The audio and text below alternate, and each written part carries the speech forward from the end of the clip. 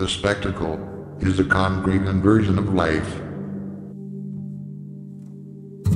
An autonomous movement of the non-living.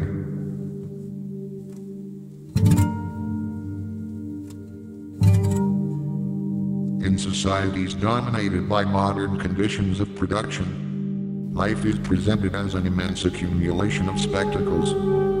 Everything that was directly lived has receded into representation.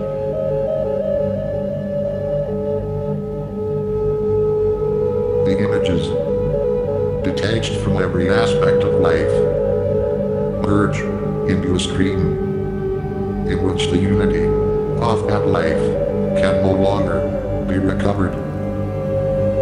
Fragmented views of reality regroup themselves into a new unity as a separate pseudo-world that can only be looked at. The specialization of images of the world evolved into a world of autonomous images where even the deceivers are deceived. The spectacle, like modern society itself, is at once united and divided. The unity of each is based on violent divisions. While man's contradiction emerges in the spectacle, it is itself contradicted by a reversal of its meaning. The division presents is unitary, while the unity it presents divided.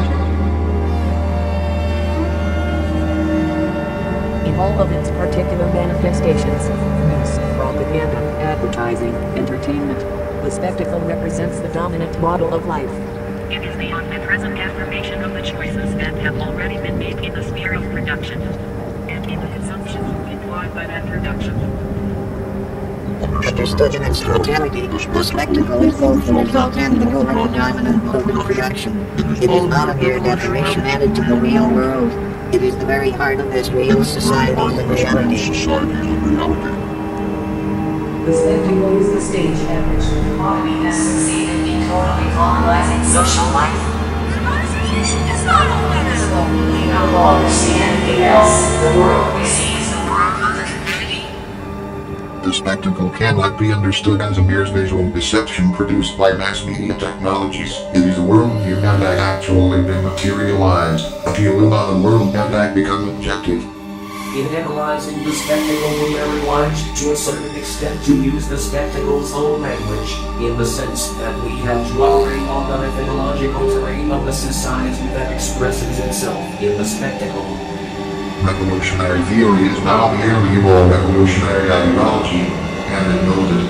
We are now the spectacle and the spectacle now us. We have liberated the now rushing the